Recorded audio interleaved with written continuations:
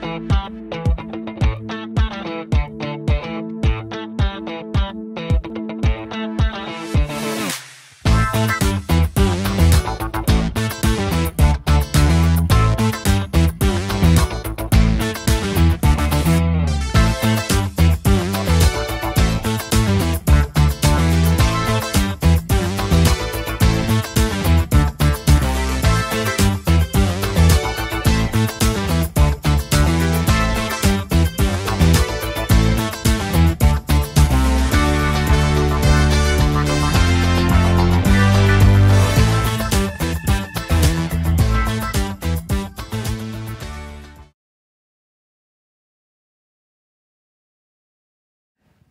Check, check. Hello? Cool. All right, let's get started. Uh, I'm sure everyone's hungry. Uh, cool. So we've got a great session. We've got great panelists here. Uh, Ronak, Trove Experiences. We guys all experienced the amazing coffee yesterday. Uh, Dipanshu, Zappfresh. Uh, they run a meat home delivery company. Uh, Anara running a clean cosmetic brand, uh, vegan. So here's meat. There's no absolutely vegan. Belora. Belora Cosmetics, yes. And there's Deepak from Bombay Shaving Company, who's helping men get rid of their hair across the body. Cool. So let's let's start let's start uh, understanding what's been your journey, guys. Uh, each one of first. So firstly, D2C, what what is it that really defines D2C? Like, you know, I've had conversations with some of you guys. Some of you guys say that it's about being about selling digitally first. So some people say, okay, because I'm selling digitally, I'm a D2C brand. Some are like, no, I have the consumer data. That's what makes me a digital brand, a D2C brand. What, according to you, is D2C? What makes you guys a D2C brand? And just love to sort of start the conversation there, just by setting some basic context. So over to you, Dipanshu. So, uh, hello. Yeah. Uh, so I think, uh, according to me, D2C is where you own the supply chain of the product, and then from the source to the customer, there is that ownership which you deliver uh, with a sustained experience. So that's uh, uh, you know uh, a branded approach, according to me. And with respect to distribution channel being online or offline, I think that's still questionable um, and one can argue on that, but uh, the experience should be uh, maximum in your hands as a brand, um, uh, whether it is distribution or supply chain. Uh, that's So it's that- basically what you're saying is what defines a D2C is whe- when you control the end-to-end experience. absolutely In a way. yes. Got it. Yes. And are your thoughts? So I think in most simplistic terms, like you said, D2C, it's direct to consumer. So wherever you can have a direct interaction with the consumer, understand what the consumer wants, craft experiences which are as per that consumer, take the insights and craft your products or adjust your products back. Then to me, my mind, it's D2C. I think saying it's online versus offline may not be correct.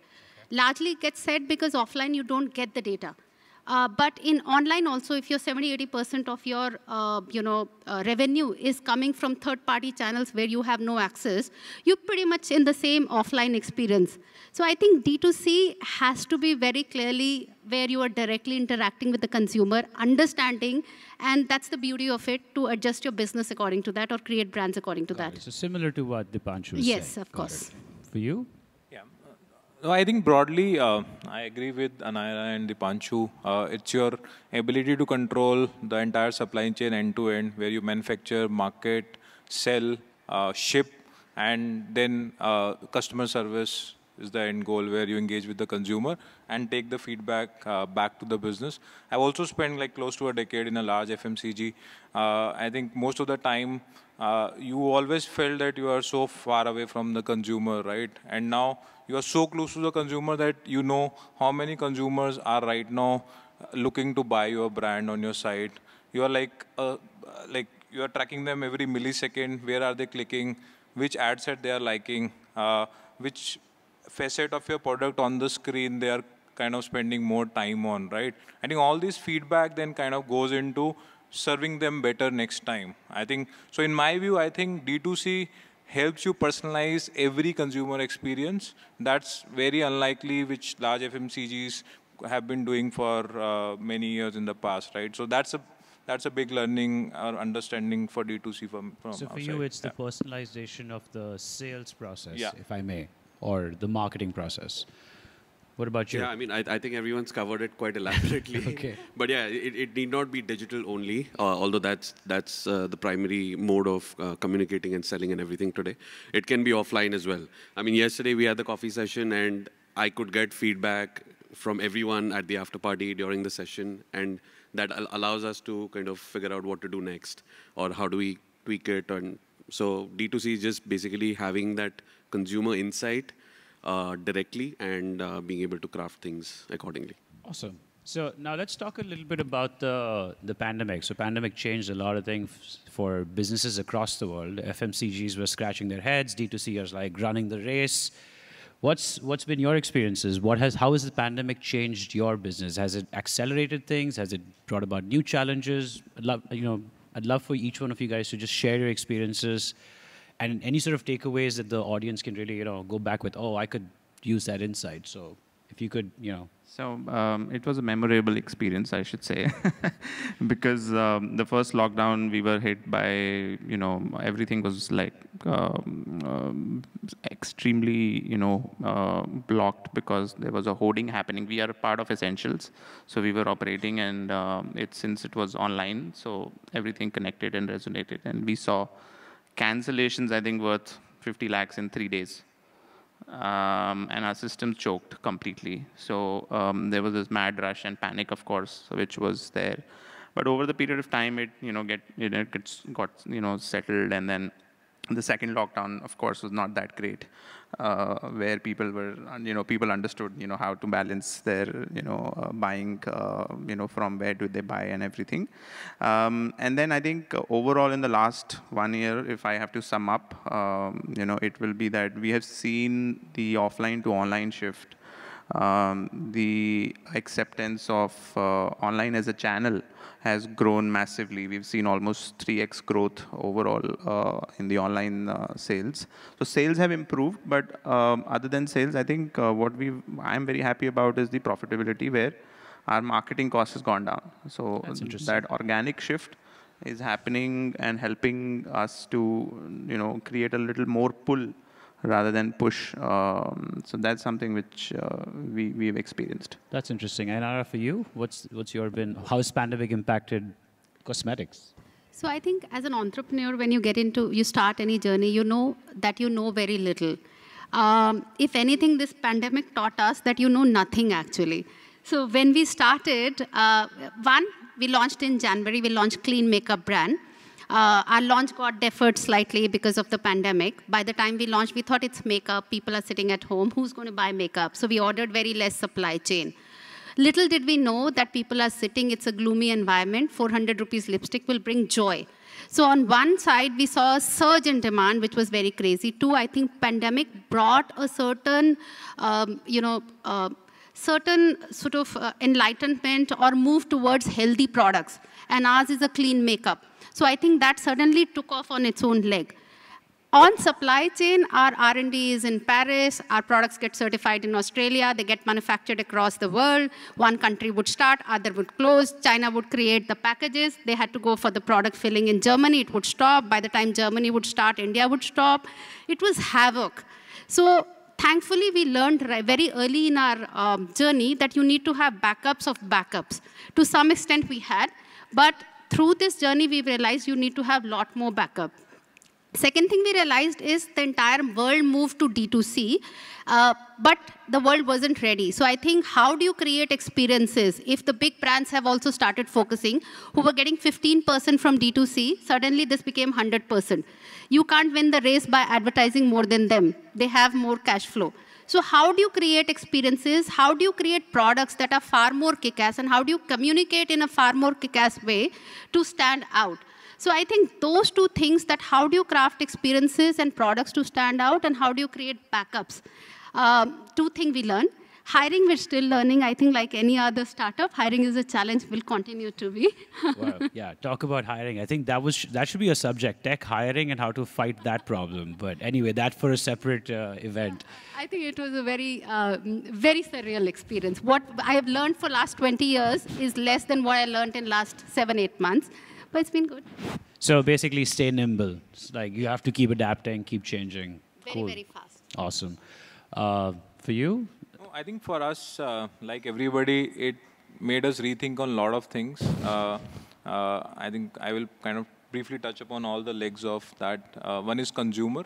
Uh, we realized that I think our consumer preferences, at least during the pandemic period, were evolving. Right, there was a lot of do-it-yourself stuff that was coming up. So how, as a brand, we kind of uh, offer them it fast uh, and also kind of become part of their journey in doing it right. Right.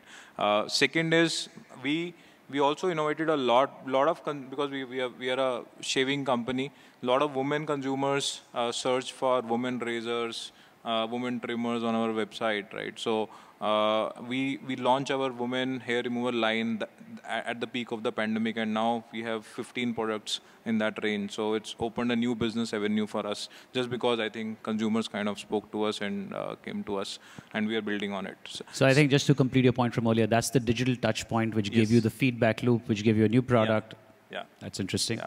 Uh, and second is, uh, I think on the business, I think also it made business more agile and frugal uh, I will say. It made us kind of rethink a lot of processes, strategies which we were executing, and we want to now, even now, I think the pandemic kind of is, is uh, Touchwood is will kind of stay and get things get better. Uh, I think we'll kind of continue with a lot of those things which we learned. Third is I think tech, uh, innovation. Uh, we realize that uh, you, the consumer is fast evolving. You continue to kind of innovate uh, but you need to be closer to the consumer. I think uh, we have innovation uh, pipeline and also kind of accelerated during the pandemic. I think the fourth theme is our own people because I think everybody went through something during pandemic. A uh, lot of stuff was happening nearby, right? So as a, as a company, I think we have kind of more closer together while people were working from uh, etc. I think the level of empathy around has gone up. I think which kind of help us to serve our consumers better. So I think these are the four things broadly that That's awesome. Us, yeah. That's awesome.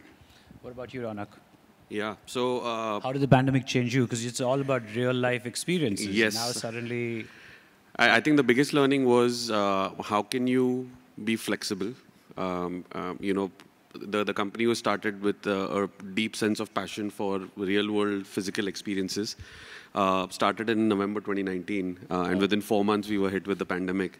Uh, so, and we had to adapt to a virtual format. Uh, but thankfully, we realized kind of what are the, the four key tenets of what we define as a good experience. you know, the artist, the storyteller that we're bringing on board has to be a certain caliber. Uh, the hands-on experience, the participative nature of the experience is key. Uh, the storytelling has to be done well, and the, the product that you're consuming has to be great.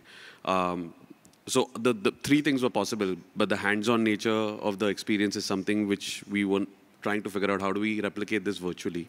Um, and we figured that, okay, can we still get people on a Zoom call, give them that little joy that you're talking about by sending them an experience hamper in advance of an experience. Uh, and with that, we were able to work with all our partners and figure out about 10 different experience formats, and that's been going really well.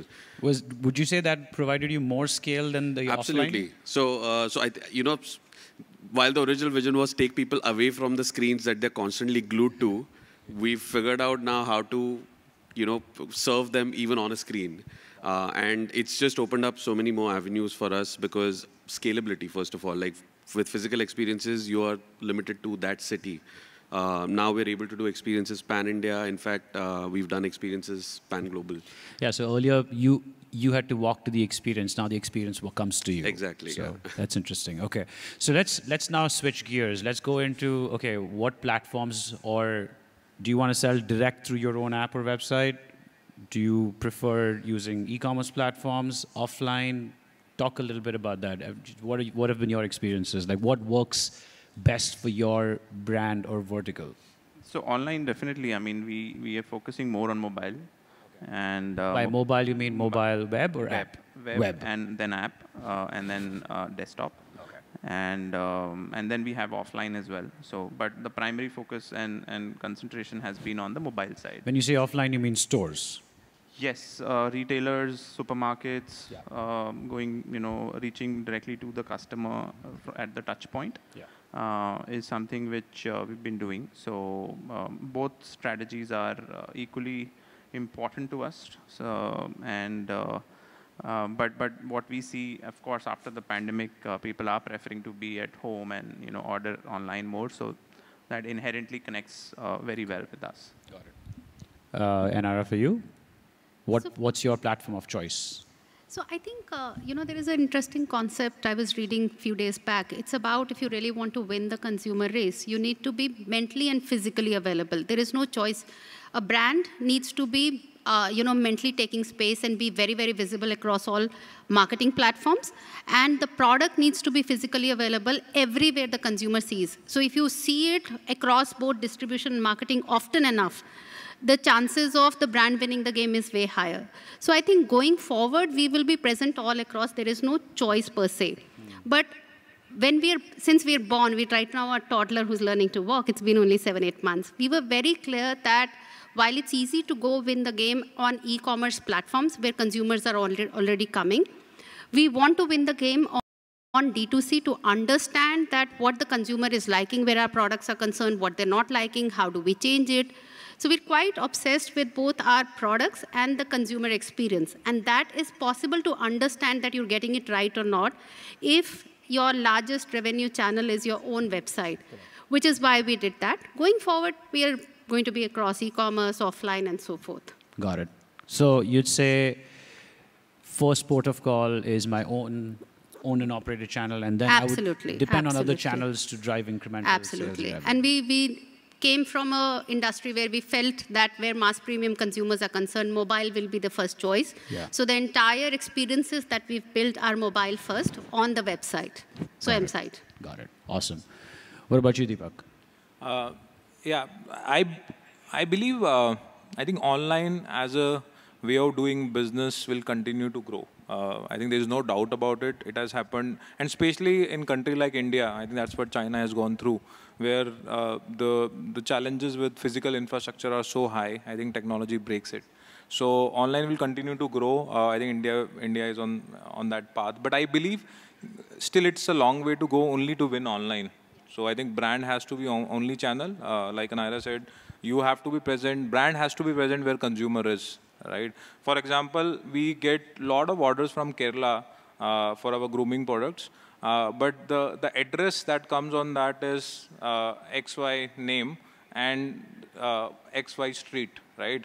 So typically you get 60% orders kind of come back because you're not able, the, the courier guy is not able to find the address and deliver. And that's the reality, right? So how as a brand we solve it, obviously we given, you can't have so many returns on the orders because your unit economics go for a toss. So then e-commerce become a way where you make sure that kind of uh, you fulfill the consumer service there or you get listed in uh, Pothys and Lulu supermarket in Cochin and Trivandrum uh, where you are kind of still engaging with the consumer digitally but serving them uh, in the offline store. So I believe I think omni-channel is the way if you really want to build a thousand, five thousand crore brand uh, and I think that's what we are doing right now.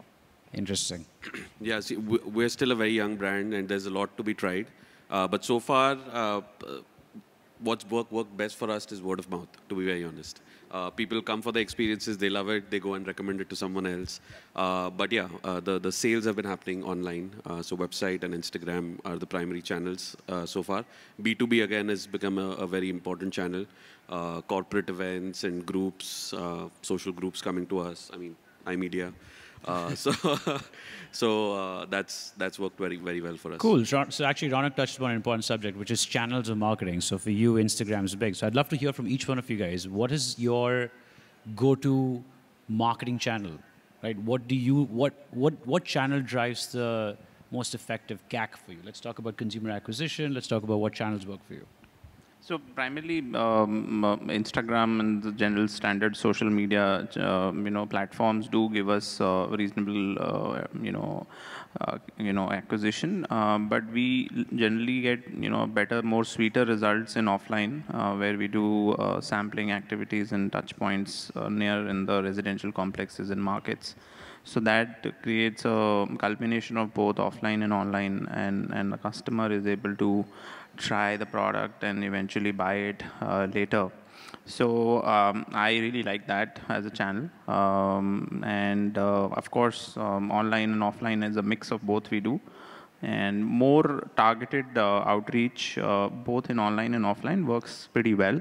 Um, largely with with the standard uh, you know platforms which are there. Uh, we haven't Okay. used much of uh, different affiliates to a large extent, so Okay. we would love to do that. Uh, So in near the future. you'd say you've you've done the tried and test. So, so sampling, which is the offline marketing, Yeah. is uh, something that works for you, and then social is sort of basic. yes, yes. But you so there's still a lot more to explore Yes, absolutely. See, sampling uh, as a uh, as a strategy is very interesting. Um, in fact, you know, there are a few new startups also uh, coming in the sampling space where you book an online sample and it comes to you, and then you try the product. So that is an experience. There is, you know, the right amount of effort going in, um, and, and also the cost-wise, you know, you are able to get the realization faster. Got it. But what about offline channels like, uh, you know, hoardings, TV, radio?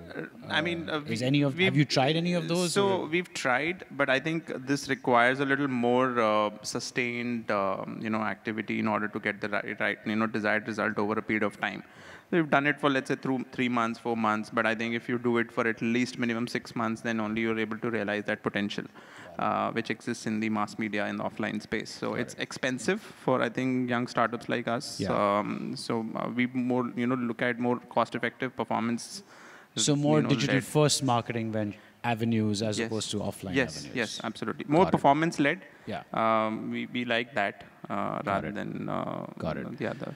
So okay. If I can And just I- build on that, sorry. Yeah, please. I mean, uh, all D2C brands are, are, are heavily focused on performance because whatever you're investing, you have to see the ROI. Uh, and that's where I think even yesterday we were discussing, uh, even with programmatic or traditional media, you just don't see that ROI. Uh, and maybe that's not even the purpose of do marketing on those channels. Maybe it is more top funnel. Uh, so I think until you reach a certain scale, uh, it, it doesn't really make sense for a, a young D2C brand. Uh, and that's because it, there's a core performance focus. Your founders are going to ask you, uh, you know, kitna dala or kitna mila. yeah, ROI kidhar hai? right. And Ara, for you?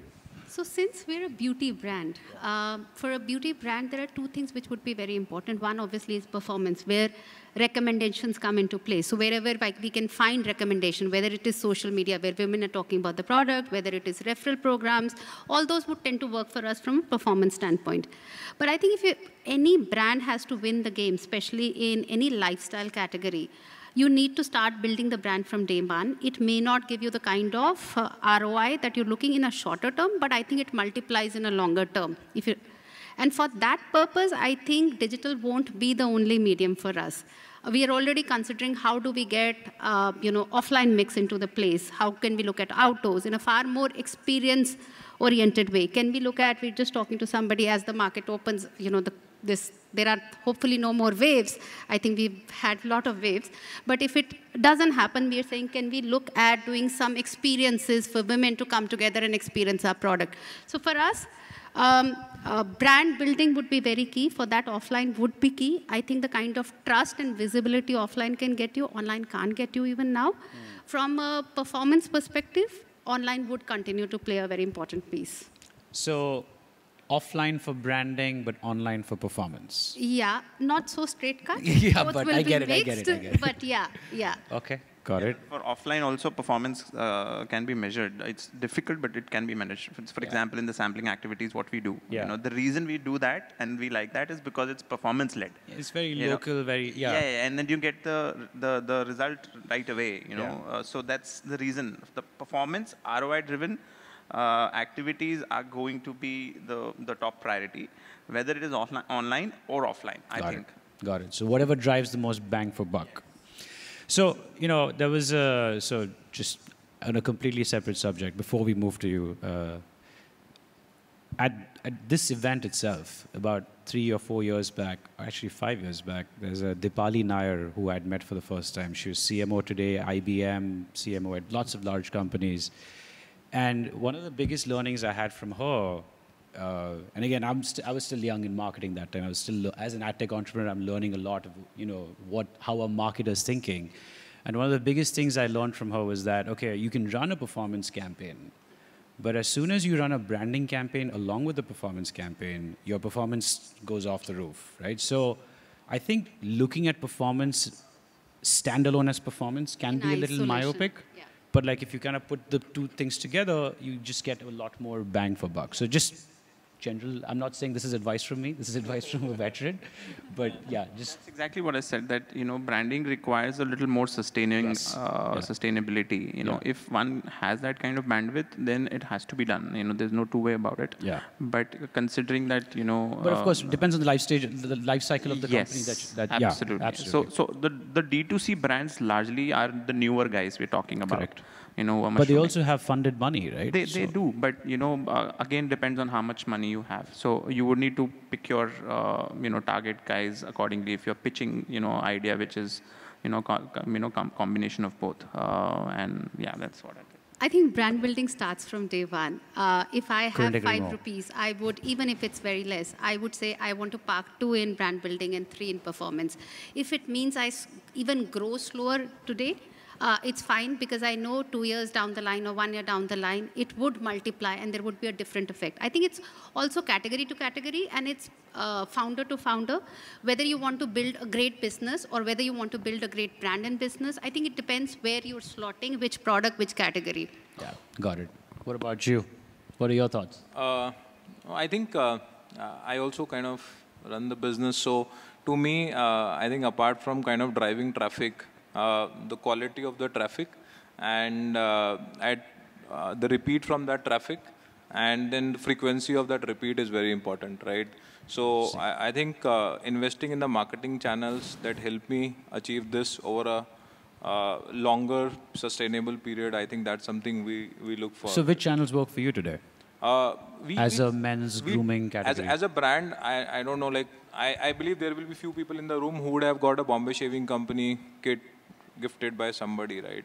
Uh, so I think sampling is a big way of kind of, uh, because we believe that if somebody is gifting your brand, right, all because you will not gift anything which you yourself will not have high trust, right? So, so I think sampling is a is a big way to drive trials and word of mouth, but you just can't for a young brand i think just being dependent on sampling doesn't work right so uh, we use uh, typical performance marketing platforms you go to facebook google Facebook, Google, okay. and but i think Big tech. influencer is something i think we, we are realizing that now it's also i think getting very uh, cliche in terms of the way influencer marketing is also Talk happening about, but talk about that. So, influencer marketing, does it drive, are you using it for branding or using it for performance, mixed bag? Uh, I think we do it for branding because uh, we believe they are they are like-minded people. It's same as cohort, right? So they're like-minded people who follow a particular celebrity or an influencer, and they want to hear from them what they like to buy, what they like to use, and what they say about them, right? So,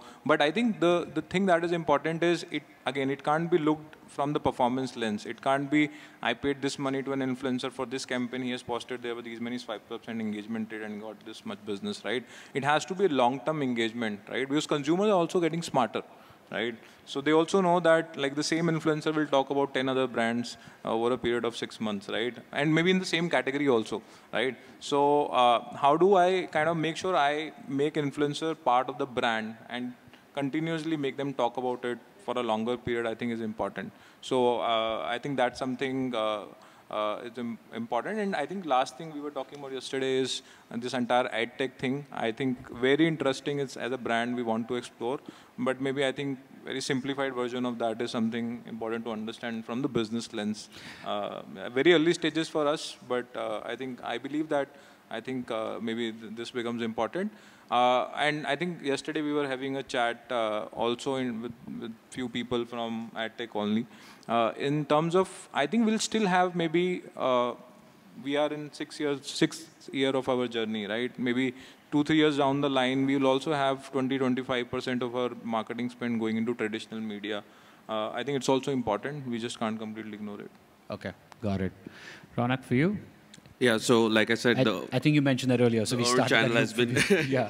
But yeah, if you want to but your- yeah, it's Instagram and uh, social media have been have been working well for us, Okay. uh, and uh, the offline channel, of course. Uh, going to brands directly or going to corporates directly Got has it. been working really well. Got but yeah, moving forward, social uh, and influencers specifically is going to be important.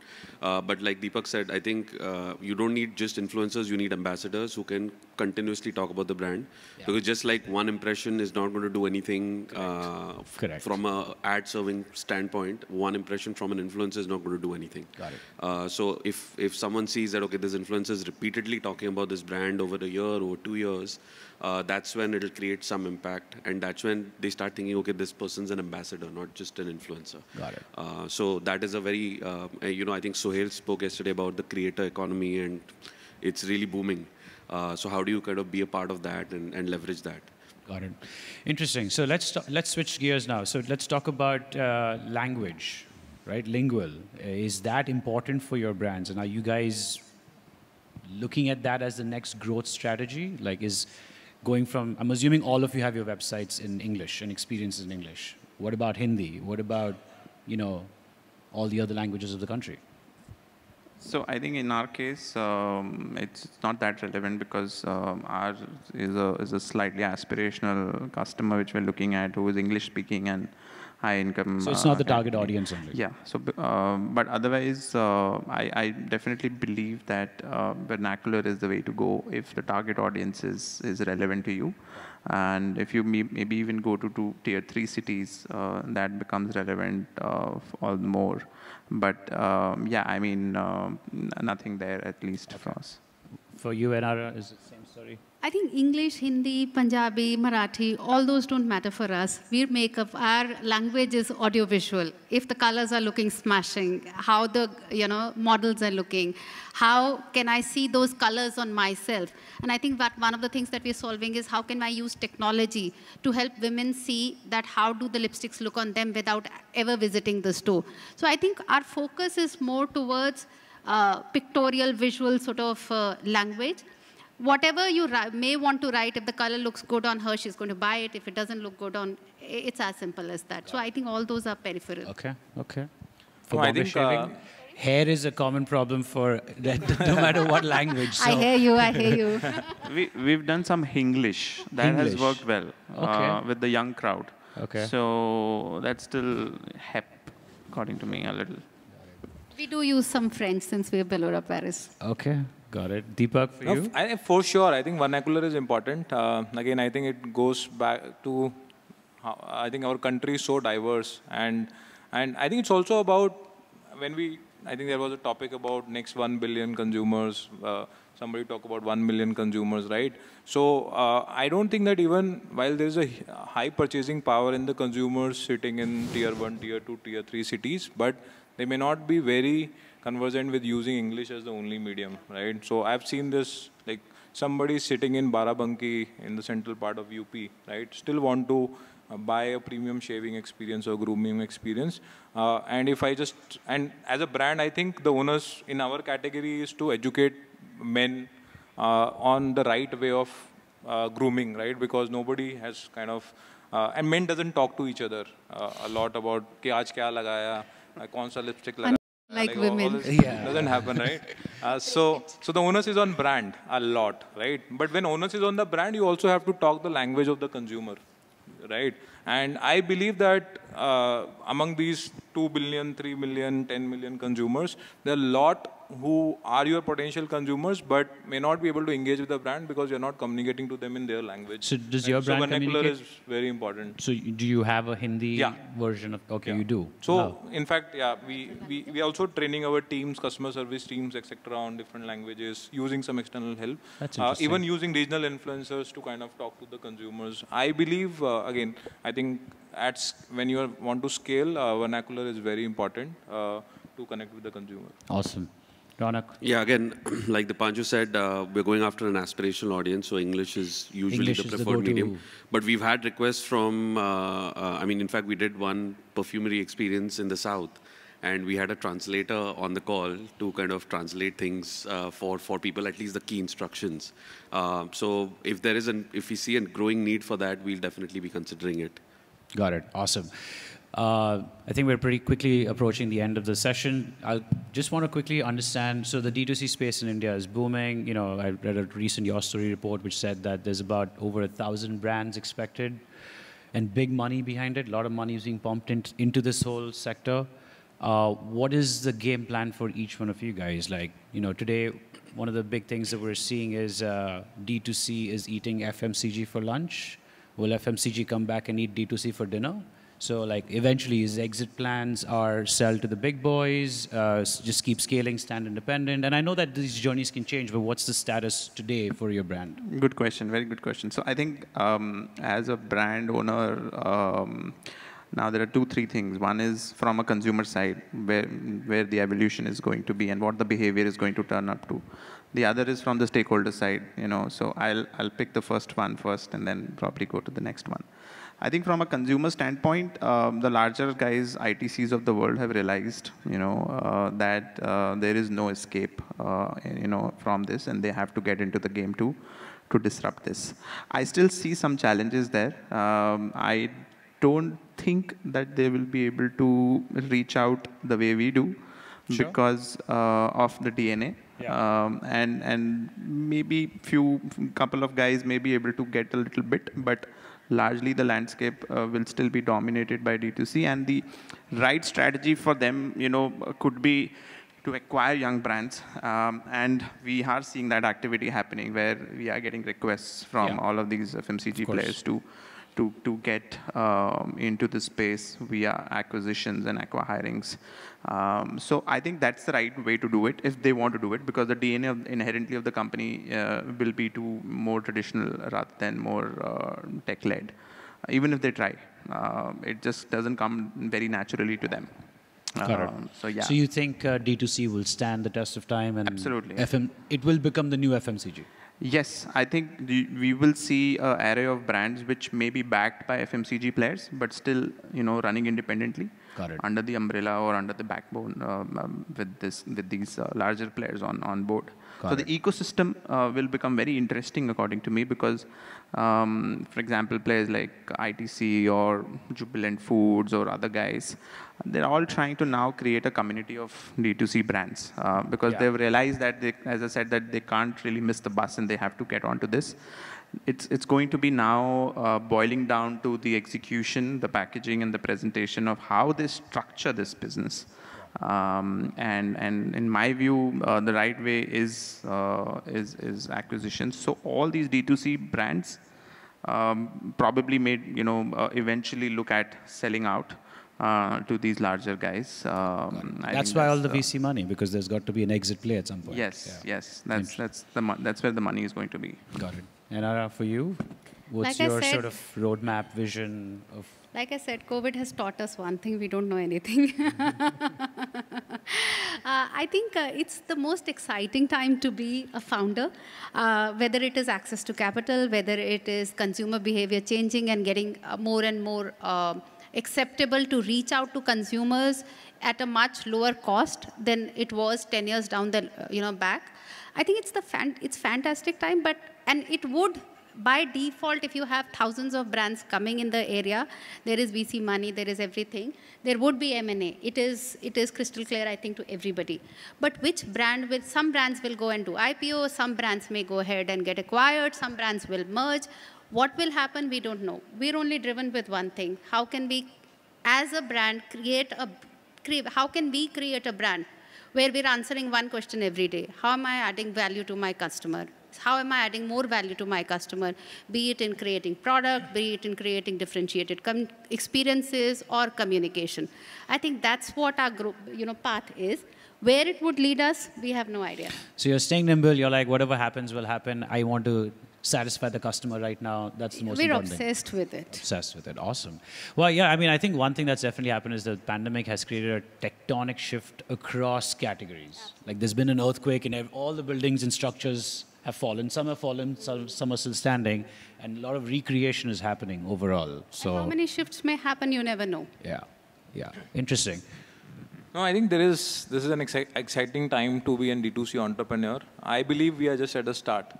Uh, this thousand should be millions, right? Uh, because India has so many problems that can be solved through technology, directly reaching out to consumers because of, I think, uh, challenges we all know about uh, the demographics, etc. Right?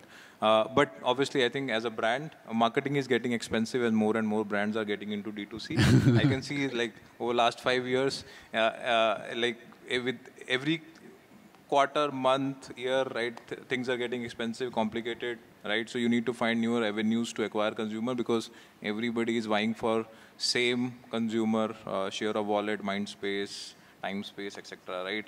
So, but I think expanding consumer base is important. I think that's what all the brands like us are doing. Is we are kind of talking to them and expanding that consumer base itself who buys online, who have trust in now buying online. I think that's important. Second thing it is doing is also simplifying the ecosystem. I like now I'm now right now I'm not worried about payment gateways or RTOs or uh, solving for my uh, uh, content creation etc. I think there are a lot of uh, ecosystem companies that have come and so doing it for me right. So now my only worry is how do I uh, make give the best consumer experience through my products and uh, build the brand, right? So I think that's that's helpful from the ecosystem point of view.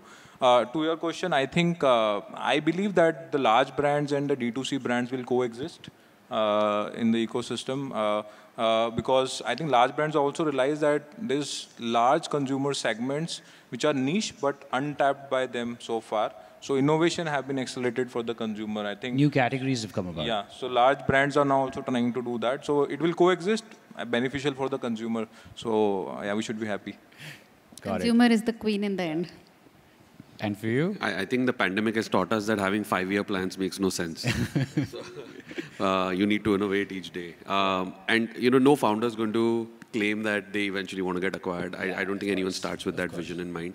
Um, uh, so the, the, the goal is like kind of keep adding value every day. And uh, Trove Experiences specifically is bootstrapped. Um, I'm very passionate about this space, and um, uh, you know, I hope that I can just keep doing this uh, until I have to retire, even if if I, if I ever have to. Uh, so, but you know, there will be uh, to expand your consumer base at some point. You need to figure out how can you collaborate and uh, and do that. Okay. Uh, so whenever opportunities present themselves, we will decide then and there. Yeah, stay nimble. Got it. All right, I'm going to wrap the session here. one with one last closing question. Will any of you accept crypto in the next six months as a form of payment? No. No. Sorry, can you repeat the? Uh, will any of you accept? Yeah, I don't know. will your brand accept cryptocurrency as a form of payment in the next six months? No. It depends. okay. Next six months is, I think, early, but yeah, but you'd never know. Like everybody. Uh, that's why I limited the time time frame, right? Next six months. Okay. You have to keep evolving with the customers. Okay, cool. Any closing notes, any insights that you would like, any one of you guys would like to share before we wrap the session? No? Good? We're good? Awesome. Thank you so much. I hope Thank this you. was interesting. Thank you. Thank you very much. Thank you. Bye. Thanks, Lavin. Thank you so Thank much. you, Lavin. Bye. Thank you so much, Lavin. Thank you so much to all of our panelists.